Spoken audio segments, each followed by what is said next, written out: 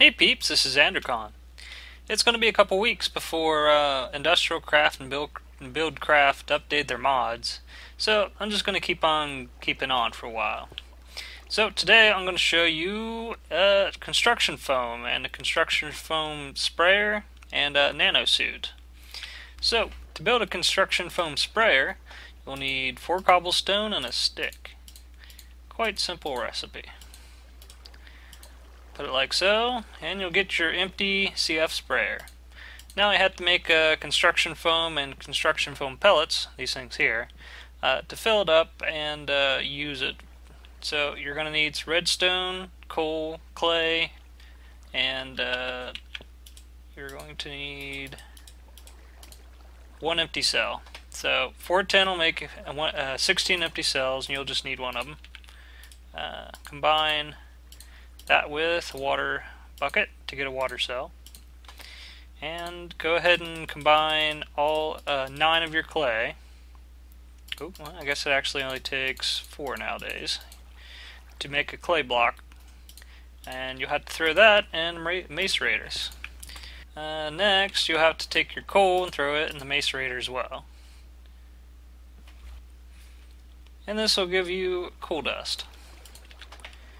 So next take your redstone, your coal dust, one clay dust, and your water cell in uh, the crafting table. And this can go in here in any way, it doesn't matter, it'll still work. And this will give you three construction foam. Now this stuff you can place down by itself, and uh, it's pretty well hollow, like you can jump into it and it'll spit you out. But after a bit it'll uh, it'll solidify and turn into a solid block.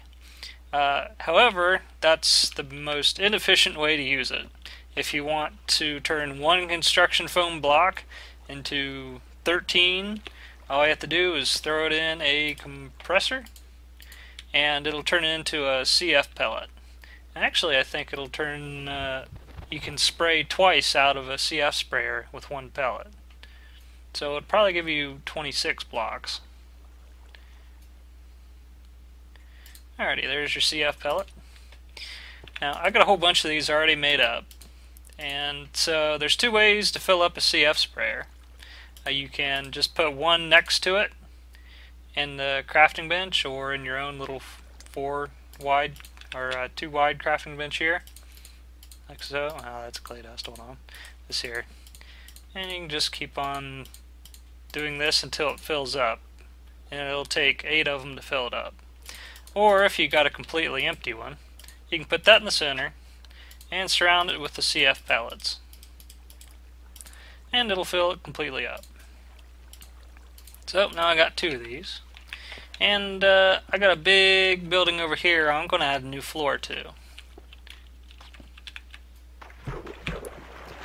So I've been working on this for a little while.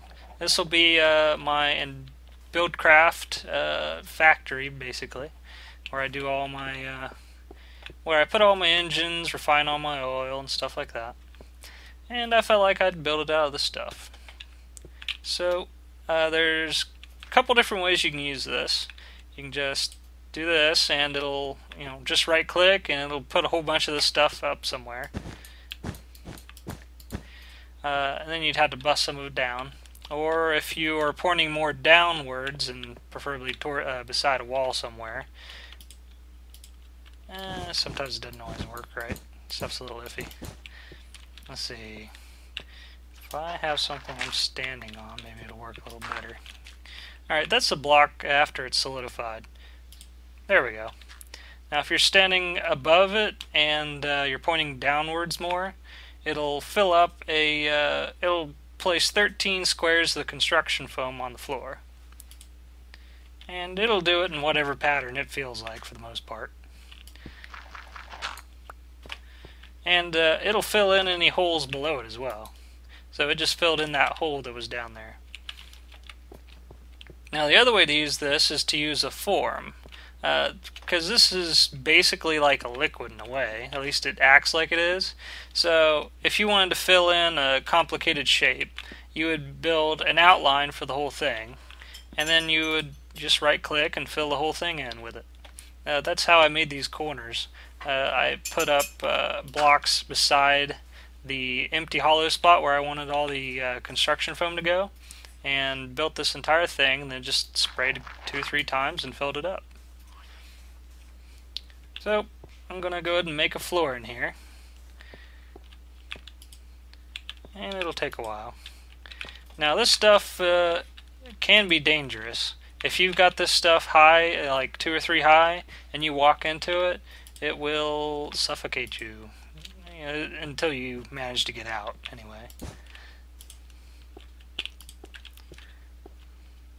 And sometimes it'll just be a little pain and not quite place things where you want it. Like now I got hollows all over the place. There we go.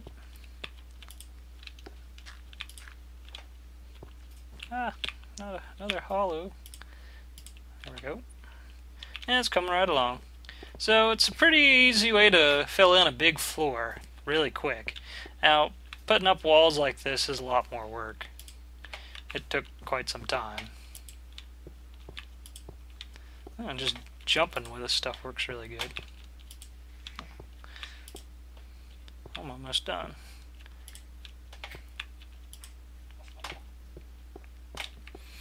Now, you might be wondering why would you want to use construction foam besides just the ease of, you know, building a floor or something? Why would I want to use that instead of, say, stone because it looks kind of like it? Well, you can paint this different colors.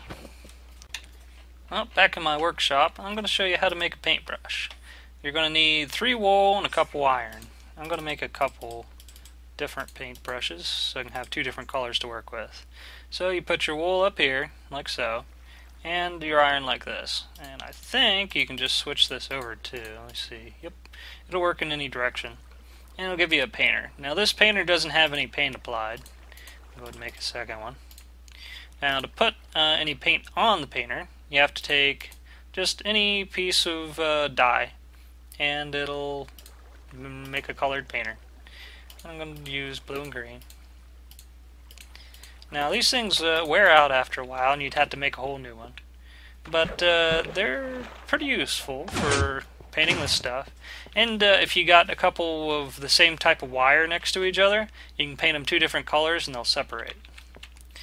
Uh, let's see, what color do I want stuff? Uh, blue floor, I guess? Yeah, that looks pretty good. Now, say if I wanted it red, I can just do this. And uh, you can paint over other colors too. So making a big floor or wall out of construction foam would be fantastic. Fantastic for uh, any of your pixel art uh, projects. And that'd be quite a lot of fun. I might have to do that sometime. I've done a little bit of pixel art in my days. So, uh, I don't it'll take a lot of wool or well a lot of these painters to do anything big because this isn't really a whole lot see one two three four five six. I painted over that. So that's 7 8 9 10 11 12 13 14 15 16 16 and I've never ran one of these out before and I didn't know it actually kept the painter. So hey that's good news. Uh, you can paint 16 squares before you would have to re-dye a square with it. Uh, that's that's a lot easier than using wool.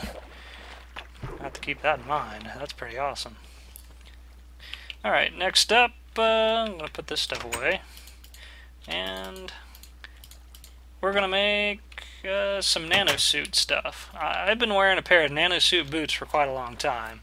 Now, why would you want to use that instead of like regular armor like iron or even diamond? Well, this stuff is, I believe, nearly as strong as diamond.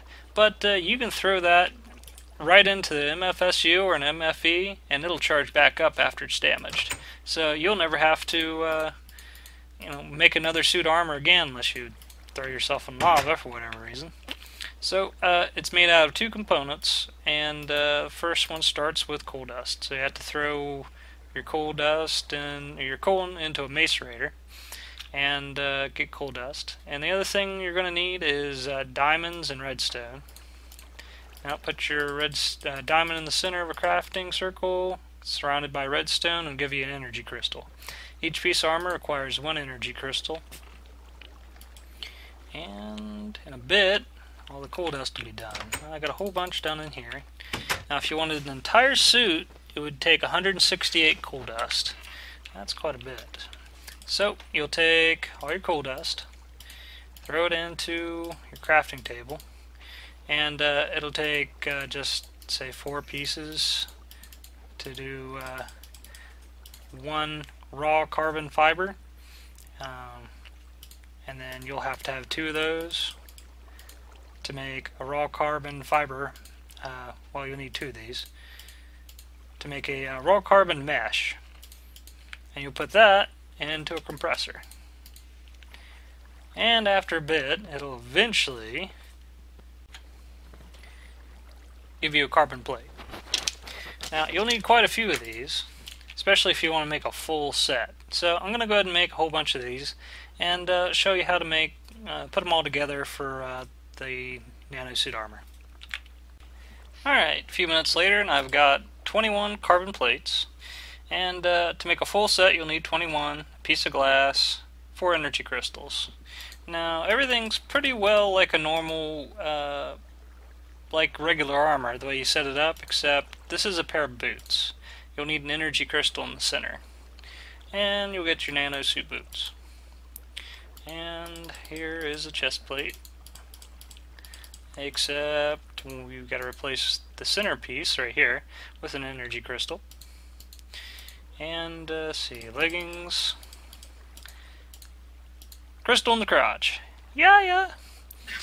It's the family jewels. So there's your nanosuit leggings. And uh, the helmet's a little different. It requires a piece of glass where your uh, face is going to be. And there's your uh, nanosuit helmet. Then you got to charge these things up in the MFSU. And that'll take a while. And a few minutes later I'm done filling these things up.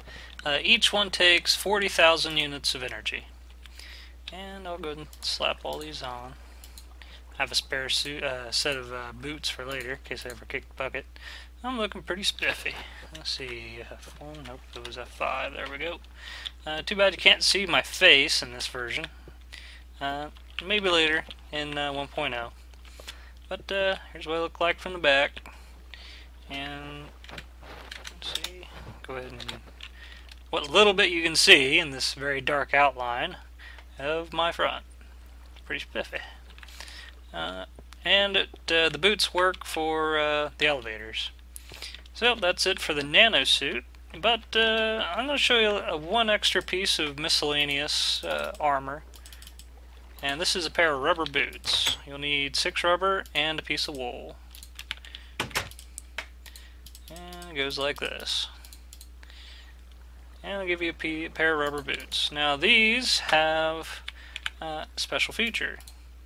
I uh, I don't think they're rechargeable or anything, and I don't know if they work for this. Nope, they don't work for um, the elevator, but uh, they work for uh, for high jumps. Uh, they'll help absorb some of the uh, fall damage. So I gotta go see if I can find a good place to throw myself off a cliff.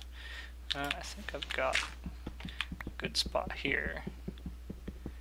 Should be a hollow spot down here somewhere.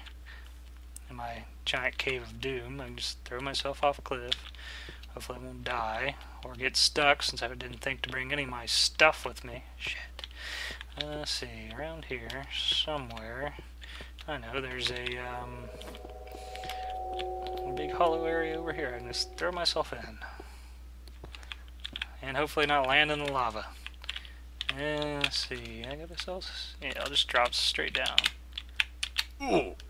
Wow, that big of a drop, and I only got one piece of damage. Of course, I do have still a bunch of this armor on. I'm a wood. And hopefully I can get out of here without burning to death. So let's try this again with just those boots on. I'm at a height of 40, as y equals 40. And I'll drop down to this right here. Ooh! Wow, only half the heart of damage and I dropped down to 17. So uh, it's quite a fall, and one huge amount of uh, damage reduction on your falls. I highly recommend some rubber boots. Uh, see. Well, I think that's it for today, and I'll talk to you guys later.